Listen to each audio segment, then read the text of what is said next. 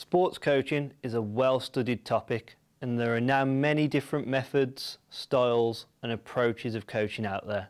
There are also many topics and coaching can be broken down in many different ways with a variety of factors affecting this.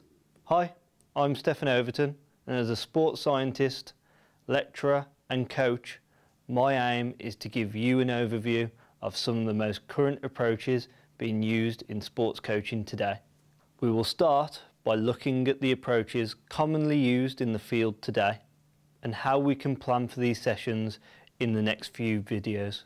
We are going to consider the parts required for a perfect session as well as the use of periodisation and methods to enhance your coaching. I will examine the different stages of a coaching session and how you will be able to apply them in your own sports setting.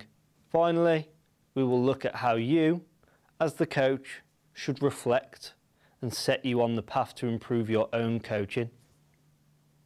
So let's move on and look at how you can design a perfect session plan.